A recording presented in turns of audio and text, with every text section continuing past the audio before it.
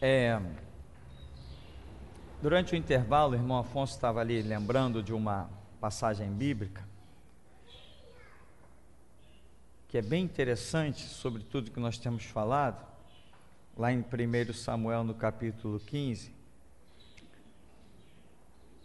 a partir do verso 22, Samuel diz para o rei Saul, ele diz assim: Porém Samuel disse: Tem porventura o Senhor tanto prazer em holocaustos e sacrifícios, quanto em que se obedeça a sua palavra? Eis que o obedecer é melhor do que o sacrificar, e o atender melhor do que a gordura de carneiros, porque a rebelião é como o pecado da feitiçaria, e a obstinação é como a idolatria é como idolatria e culto a ídolos do lar. Visto que rejeitastes a palavra do Senhor, ele também te rejeitou a ti para que não sejas rei. Então, essa passagem aqui, dentro daquele contexto todo que estamos falando, ela é interessante que ela fala rebelião como pecado de feitiçaria, obstinação como idolatria e culto a ídolos do lar. Quer dizer, duas palavras, rebelião e, e obstinação, Rebelião e obstinação são duas palavras que giram no campo do abstrato, né? Rebelião, um conceito de direção que Saul está querendo exercer contrário à vontade de Deus.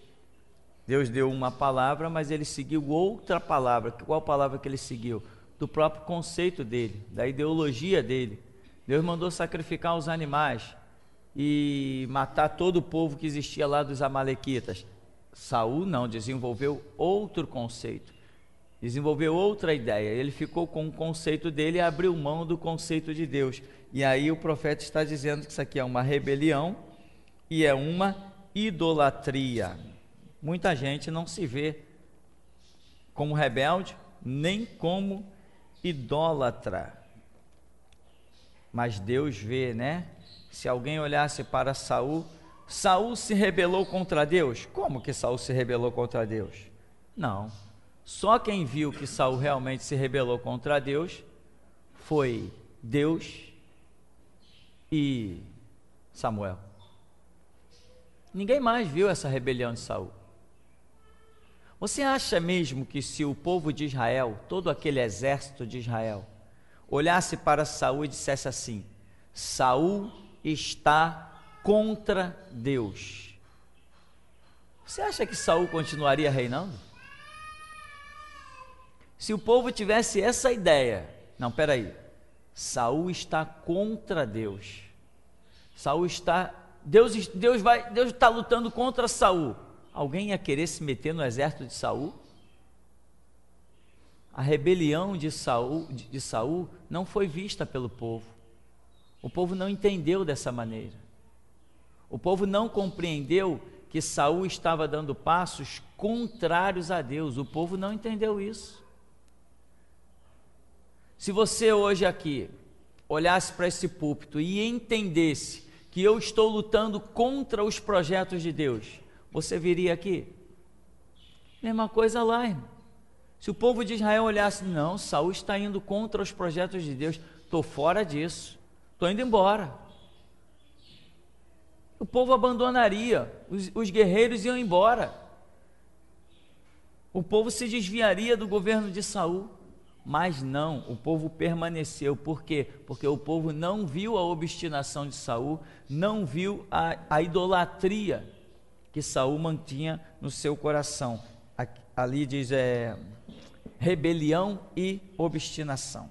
Então, nós nessa caminhada tão perigosa, precisamos ter muito cuidado, porque não sabemos quem é quem, mas Deus sabe quem é quem.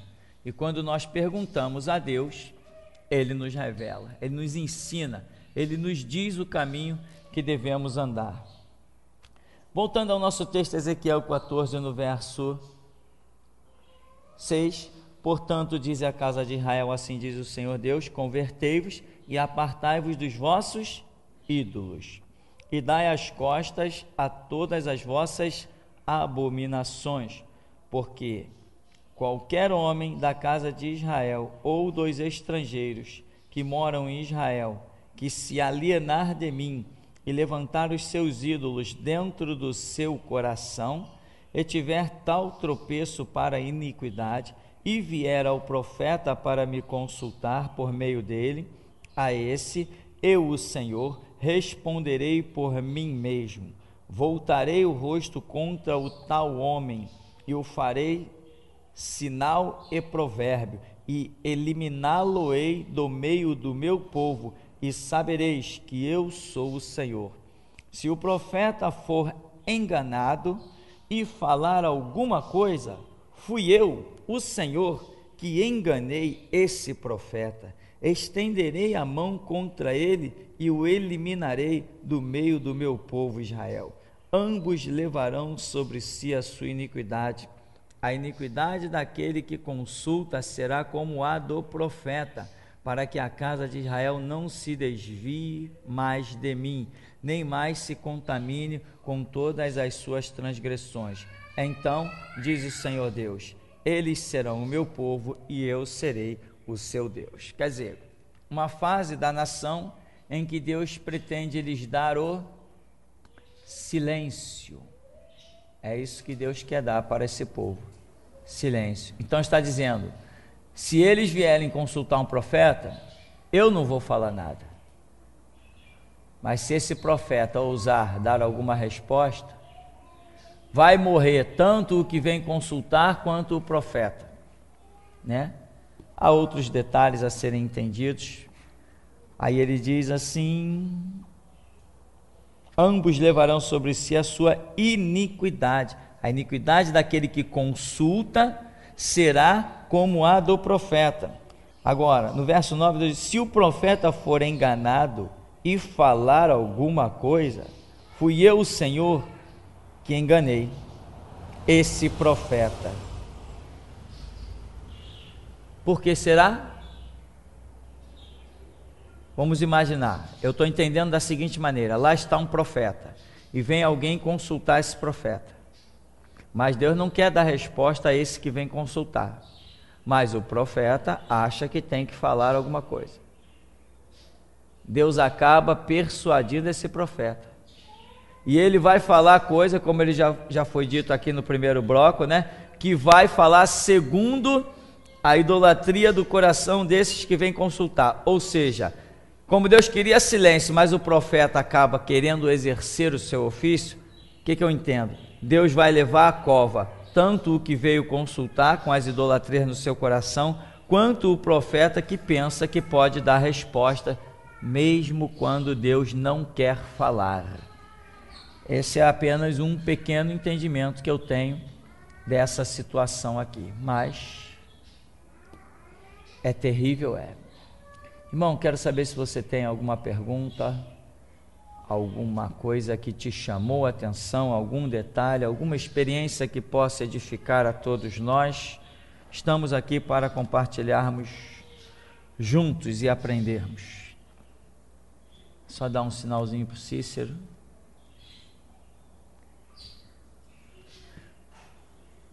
Então vamos ver lá se tem os nossos irmãos da internet. É uma pergunta do Rômulo, de Santa Catarina.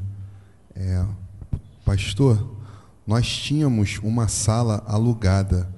Eu pregava e vivia uma idolatria, porque escutava o pastor, lia a Bíblia e livros e pregava e não aceitava repreensão nem do pastor, porque eu era idólatra e quando eu pedia sinal, os sinais eram positivos, porque Deus queria me pegar na minha idolatria. E o pastor disse que aquele que quiser se exaltar com a palavra, o próprio Deus dá a palavra para sua própria destruição. E isso aconteceu comigo. Um dia, o irmão Afonso foi bem grosso comigo, e naquele dia algo me dizia ser a minha última chance, e tomei a decisão de mudar. Não recebia apoio de ninguém, apenas de Deus e do pastor, que eu pensava que nem me atenderia esse texto trata de mais ou menos isso, não é? É, é exatamente isso. Eu lembro da situação do Rômulo, né? Nosso irmão que está lá em Santa Catarina hoje, trabalhando, fazendo a obra. Mas ele tinha um grupo lá, uma igreja, mas quando a voz da restauração chegou, a, o conceito era que eles aprendessem restauração. Não tinha, até o momento ali, ninguém para estar dirigindo um trabalho de restauração naquele lugar. Por quê? Perguntas surgem, dúvidas surgem. Entende, irmão? E a restauração é um mover gloriosíssimo de Deus. Irmão, pode entrar qualquer pessoa nesse santuário, pode vir qualquer jornalista, pode quem quiser me perguntar o que quiser. O militar, o estrategista da guerra, o presidente, o governador, o prefeito, o papa, pode vir quem quiser me interrogar. O Espírito de Deus tem palavra para todos eles. Mas essa palavra que o Espírito de Deus tem não é uma palavra daqui agora. É uma palavra que já vem sendo fundamentada há anos na minha vida. Então eu não posso dizer que alguém vai se levantar de hoje para amanhã com a visão da restauração e que vai conseguir dirigir um grupo com a visão da restauração. Não vai. Essa visão tem que ser aprendida como eu já falei várias vezes, né? as pessoas dizem assim: Fulano está pregando restauração. É mesmo? Aprendeu comigo? Se não aprendeu comigo, não está pregando restauração. Tem que aprender comigo. E não se aprende restauração da noite para o dia. Irmão, eu tenho uma base que muita gente não tem nem ideia da base que existe na minha vida. O que eu mais anseio hoje é ter confronto com delegados, juízes, promotores, isso ferve dentro da minha alma. Eu quero que governadores venham me interrogar. Eu quero que presidentes, políticos venham me interrogar. Eu arranco a cabeça deles com palavras. Isso está dentro da minha alma, isso ferve mais do que água a 500 graus. Mas isso não é daqui para cá, não é da agora.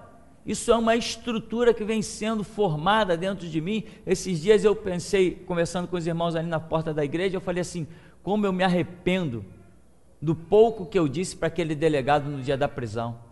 Eu digo assim: eu fui pego de surpresa naquela situação. Como eu me arrependo, como eu queria voltar de novo a um confronto com o delegado. Que ele ia ficar tão transtornado, tão transtornado, que ele ia sair que nem barata tonta. Entende, irmão? Eu falei tão pouco. Então o que, que acontece? Alguém que entra em contato com a voz da restauração tem que aprender o que é restauração, tem que entender o que é esse ministério, tem que entender o tempo de existência desse ministério, tem que entender por quê, não é slogan. Jesus volta no século 21, ei, bate palma, que maravilha. Não é nada disso. Tem que ser mestre disso tem que dizer: Jesus volta no século 21. Tu tá maluco? Não. Quer aprender? Senta aí que eu vou te ensinar como ele volta no século 21. Não é oba-oba. A Bíblia é assim, Constituição não. Que isso? Você tá louco? Peraí, deixa eu te provar. Senta aí. Deixa eu te provar como é que o lema é Bíblia é assim, Constituição não. Restauração é um negócio muito fundamentado. Voz da restauração é um mover que o nome do Senhor não ficará envergonhado como ficou nas dispensações passadas. Não ficará. Hoje, ontem eu conversava com pessoa e eu dizia assim: você pode estudar o que você quiser, você pode percorrer os quatro cantos da terra. Quando você vê alguém pregando alguma coisa grandiosa, ou você vê alguém é, fazendo um vídeo grandioso, ou você vê alguém escrevendo alguma coisa gloriosa, que você pegar os escritos dessa pessoa, quando você for lá atrás nos meus escritos, nos meus estudos, você vai ver que eu já tinha feito isso. Você vai ver que eu já tinha escrito isso. Você vai ver que eu já tinha recebido isso, porque o mover da restauração é o último sobre a terra, onde Deus abriu os céus e hoje nós não temos dúvida de mais nada na Escritura a ponto de dizermos que Jesus Cristo volta no século 21, que é uma loucura maior que essa. Agora, quando a pessoa senta, que eu provo para ela, ela estanca. Eu digo assim: vem cá, Jesus ficou sepultado quantos dias? três dias e três noites. Não, não, você está errado. Que isso? Há 20 anos que eu ouço dizer que foi três dias e três noites. Não, eu te provo que está errado. Ele ficou sepultado. Três noites e dois dias. Pronto, aí a pessoa já leva um choque. Eu provo. Não foi na sexta-feira? Não, não ressuscitou no domingo? Aquele final de semana não era Páscoa? Não valia tantos dias? E tal. Pronto, a pessoa já começa a ver que não está falando com uma pessoa qualquer. E aí nós provamos, para a própria misericórdia de Deus na vida da pessoa, certas coisas. Então, aconteceu lá com o Romo. O Romo, quando teve em contato conosco, tinha um grupo, e eu falei para ele que o negócio era o quê? Aprender a voz da restauração. Mas ele, durante um bom tempo, insistiu em se colocar como líder lá Teve até uma irmã de outro país que falou: Pastor, por que, que você não apoia o Rômulo na igreja dele lá?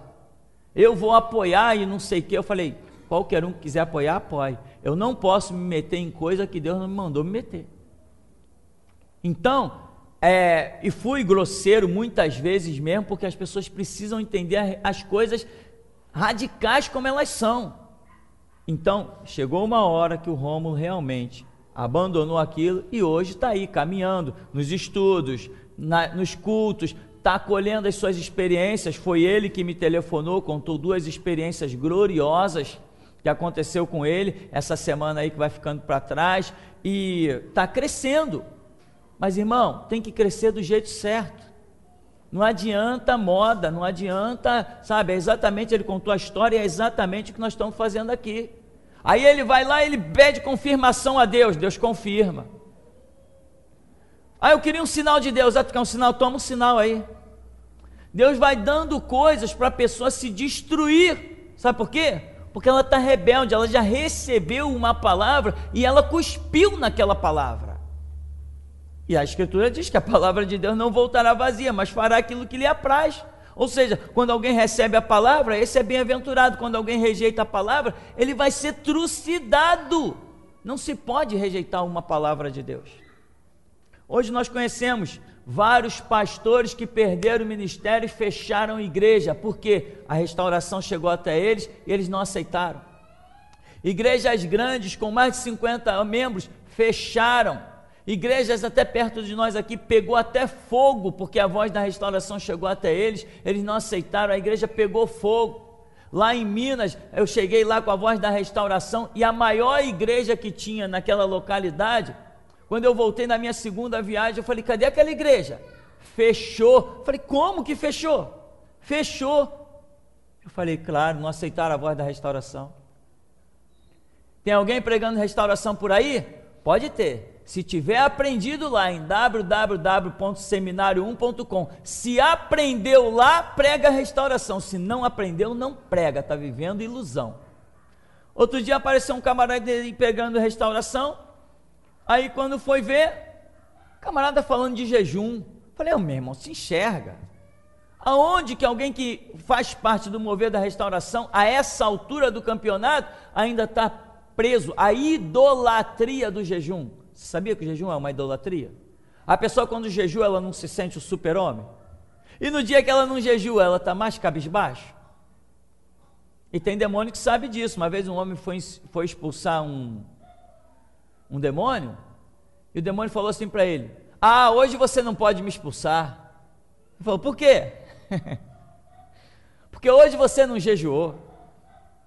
Hoje você não pode me expulsar. Aí ele falou: E quem te expulsa? É o meu jejum ou o meu Jesus? Em nome de Jesus, sai.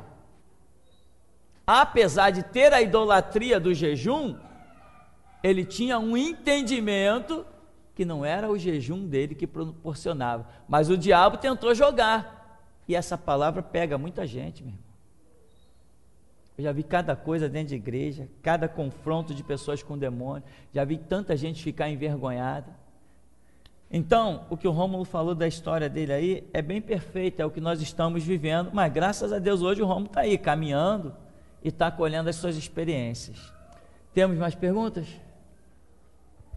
É uma pergunta do André Sawande, da Angola. Pastor, em 1 Samuel 3,1, tem o contexto de Deus falar com Samuel em sonhos. Diz que o mancebo Samuel servia ao Senhor perante Eli. E no verso 7, depois da segunda vez, diz que, porém, Samuel ainda não conhecia ao Senhor e ainda não lhe tinha sido manifestada a palavra do Senhor. Pastor, será que pode ser comparado àqueles que servem a Deus de forma submissa ao pastor, mesmo não tendo sido ainda chamado por Deus, assim como nós que gravamos CDs com as mensagens da restauração para oferecer de forma a trazer, de forma a fazer a obra do Senhor, até sermos chamados por Deus para alguma obra?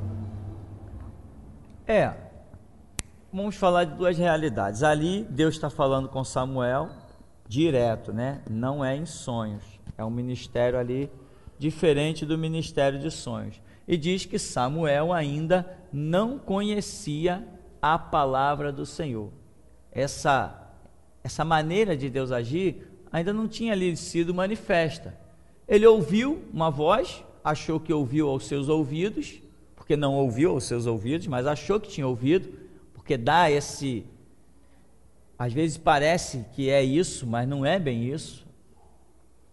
E ele foi lá em Eli, Eli, tu me chamaste? Aquela história que nós já conhecemos. Não, ele, ô Samuel, quando você ouvir, diga, fala Senhor que o teu servo ouve.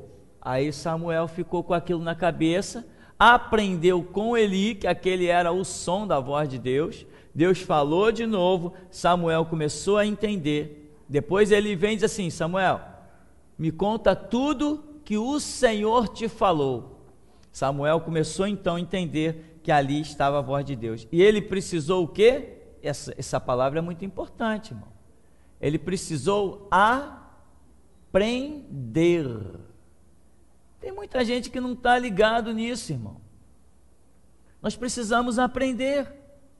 Aprender o, o significado da Escritura. Aprender o, entre aspas, o som da voz de Deus.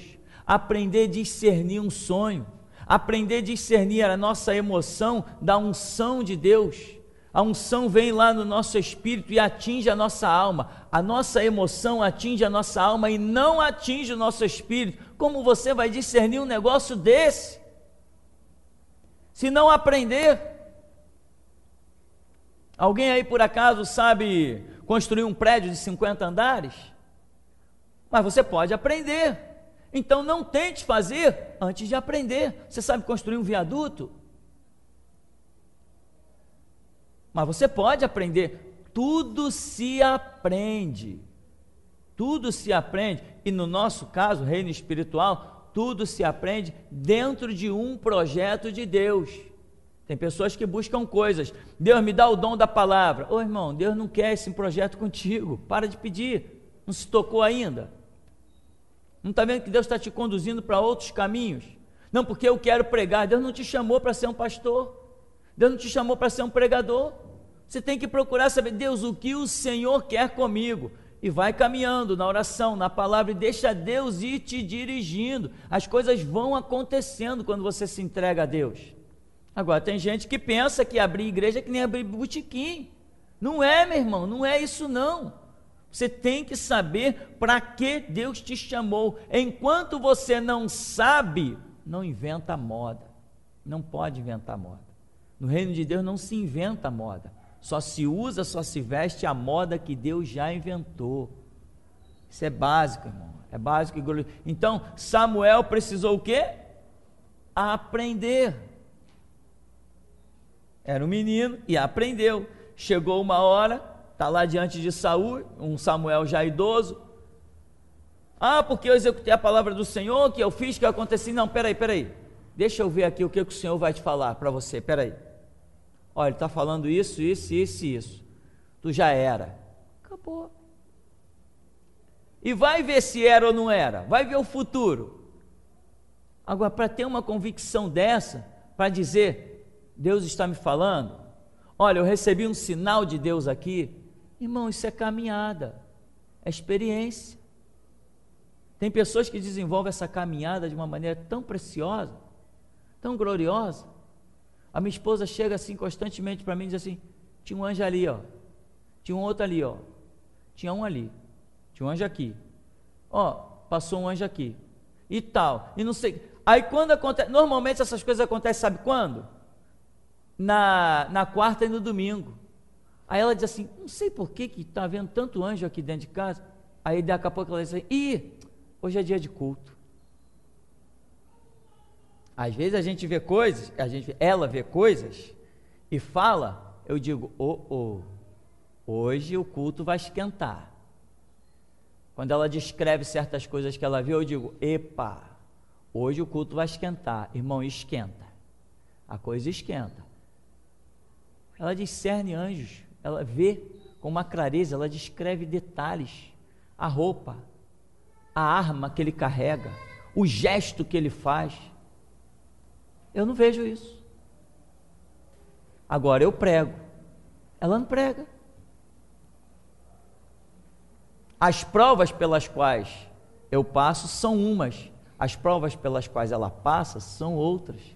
Cada um tem que aguentar a sua própria carga e Deus não dá a ninguém mais do que o que pode suportar. Deus não chama todos para o mesmo ministério. Então nós precisamos aprender. Por que será que Jesus é chamado de mestre? Porque nós sempre temos o que aprender. Ele é o mestre. Então, irmão, Samuel aprendeu e nós precisamos aprender. Não se precipite. Não se precipite. Eu já vi muita gente de Bíblia na mão dizendo: Olha, irmão, sabe o que Deus está me falando para você? Ah, falando isso, isso e isso. Eu, irmão, Deus está falando nada disso. O irmão não crê, não? Não, irmão, eu creio. Creio em visão, creio em revelação, creio que servimos um Deus vivo e que Ele fala. Só que Deus não está falando por você. Por quê? Você aprende algumas coisas e você aprende até quando Deus está falando por alguém? Ou você acha que esses profetas que vêm aqui na frente vêm por esporte? Você acha que eu já não os provei ao, ao fogo para chegar na frente da igreja e entregar uma palavra? Ou você acha que cada palavra que é dita aqui, eu não aposto a minha vida que ela é verdadeira? Se eu não pudesse apostar a minha vida que esses profetas têm entregado palavras aqui nesse ministério, eles não estariam mais profetizando aqui. E todo mundo verá na hora que as coisas vão se cumprir, porque Deus é assim: Deus anuncia primeiro e faz depois. É assim que a Bíblia mostra.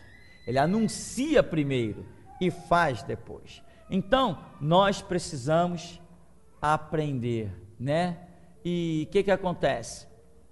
Aí ele diz assim: é mais ou menos o comportamento que nós temos? É, hoje quem quiser trabalhar é só fazer CD, DVD, as coisas estão lá na internet, eu já dei a direção, tem a pasta intitulada Assembleias, tem a pasta intitulada Restauração, temos, não sei, tem lá na, na internet, deve ter umas 800 mensagens, não sei nem quantas tem, e tudo é edificante, quem estiver ali caminhando, ouvindo, vai também discernindo. Deus vai movendo. Ó, pega essa mensagem, entrega para o teu colega tal, entrega para o fulano tal, entrega para o pastor tal, e vai fazendo a obra.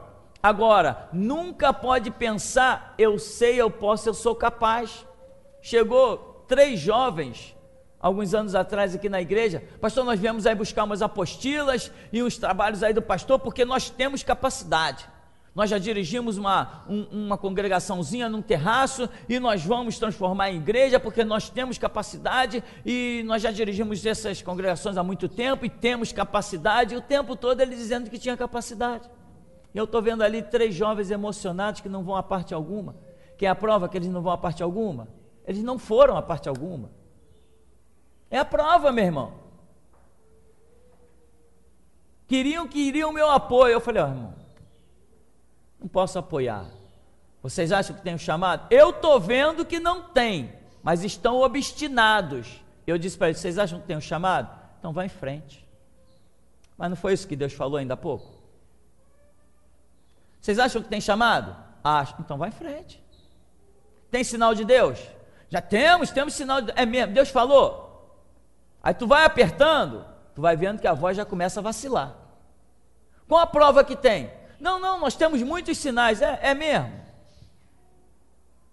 Está falando com um homem que é o fundador de uma igreja e acha que está falando com alguém que não tem experiência.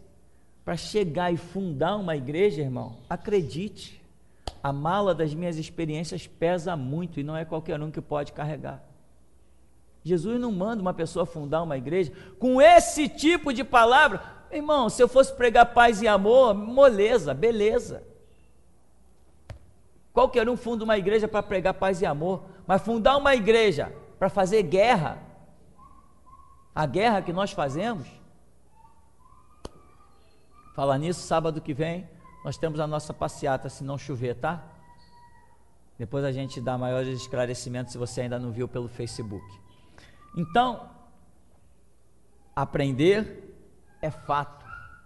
Está lá distante, que nem eu falei para as pessoas da África, da Espanha, pega os trabalhos, baixa, distribui, distribui o site.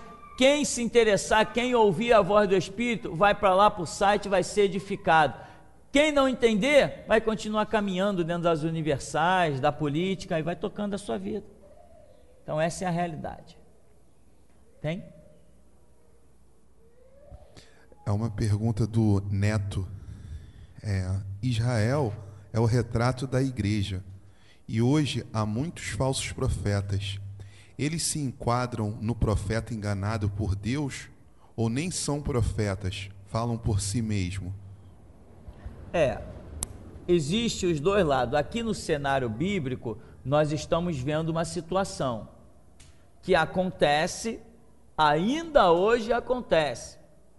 É fato. Agora, existe o outro lado de que não tem nada a ver, como é o que nós realizamos a introdução às falsas profetisas que estavam lá em Israel. Irmão, hoje nós vemos isso abundantemente. Nós vemos pessoas por aí profetizando em igrejas. É que agora eu não visito mais igreja, que eu não tenho tempo, mas eu gostava tanto de visitar a igreja para me divertir, né?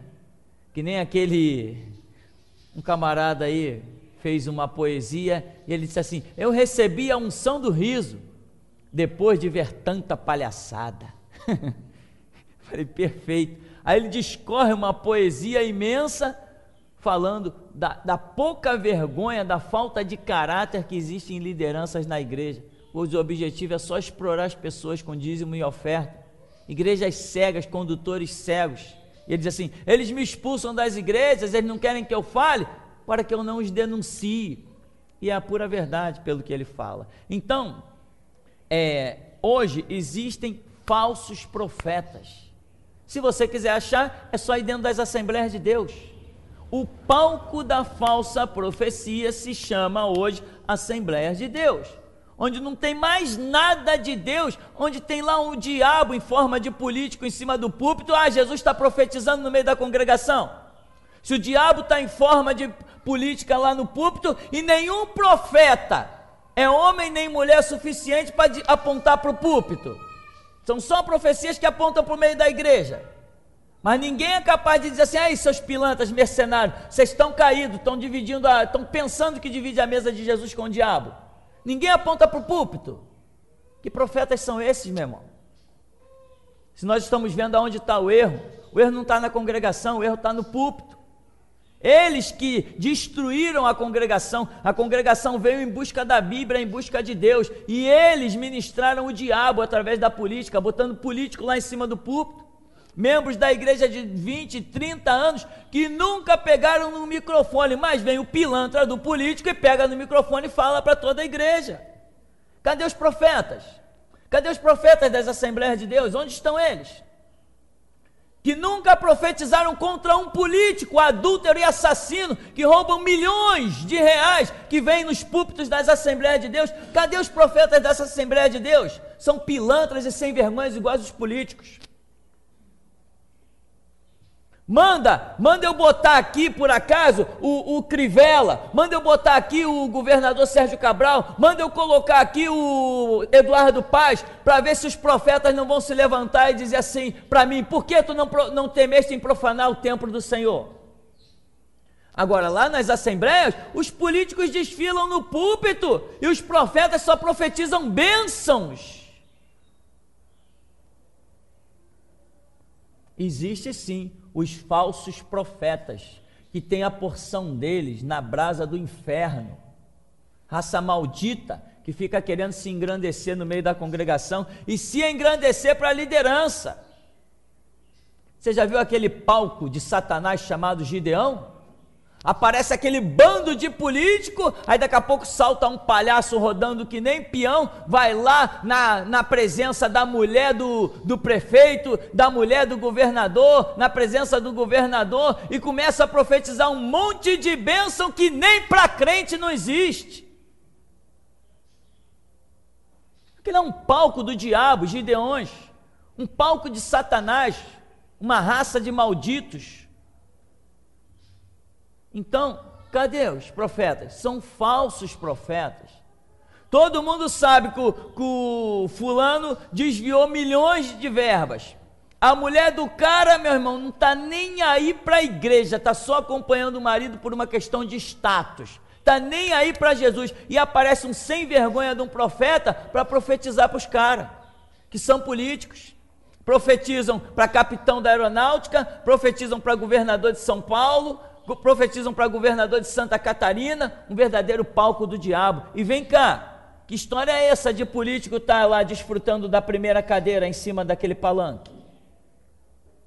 Aquilo lá é lugar para servo de Deus. Bom, mas já que não tem isso lá também, né? Fazer o quê? Então, irmão, eis a realidade. Falsos profetas sempre existiram e vai continuar existindo. É uma pergunta do Lindolfo de Fortaleza. Pastor, nós podemos saber quando estamos encaixados na restauração? Podemos, claro. Simplesmente, irmão, orando, dobrando os joelhos, Deus fala tudo. Né? Não preciso eu aqui especificar os pontos que eu sei que fazem parte desta estrada da restauração. Eu sei, porque eu sei? Senão não poderia ser um restaurador. Eu tenho que saber aonde vou pisar. Eu tenho que saber o que significa essa estrada e qual o caminho dessa estrada, senão não poderia estar incluído na voz da restauração. Eu sei os pontos, mas eu não preciso me prender a isso. Basta que você dobre os seus joelhos e pergunte para Deus o que você deve e o que você não deve fazer. Aonde você deve e aonde você não deve ir. Acabou, meu irmão, você vai estar tá incluído, você vai estar tá enquadrado. Agora, não se desespera, como algumas pessoas, né, inocentemente, até bem intencionado, eu tenho que fazer alguma coisa para Deus, eu estou muito parado. Irmão, você não tem que fazer nada para Deus, você não está parado, você tem que orar. Se Deus não te mandou fazer nada, continua caminhando naquilo que é padrão. Qual é o padrão? Estudar a Bíblia e orar. Estudar a Bíblia e orar. E Deus é que vai te dirigindo. Porque eu já vi pessoas desesperadas. Não, eu estou muito parado, eu tenho que fazer alguma coisa para Deus. Aí se desespera tanto e começa a fazer alguma coisa para satisfazer a idolatria do seu coração, o seu ego. Tem nada a ver com Deus. Aí quando ele pensa que está fazendo alguma coisa, ele se sente bem. Agora eu estou trabalhando para Deus. E Deus está dizendo assim: com o? Estou vendo nada. Estou vendo, não te pedir nenhum trabalho, o que tu está fazendo não é para mim, não. É para satisfazer a você mesmo. Você está aí desesperado querendo fazer alguma coisa. E está fazendo para se satisfazer. Entendeu, irmão? Existe isso. Eu estou muito parado. Eu vou fazer para Deus. Aí começo a fazer. Fazer o que se Deus não me mandou fazer? Ninguém faz para Deus o que quer. Só se faz para Deus quando Ele manda fazer. Temos pergunta aqui, antes de concluirmos. Ninguém, isso é bom. Todo mundo sabendo tudo, isso é sempre muito bom. Estamos numa boa hora. Ninguém então, né? Então, irmãos, vamos finalizar.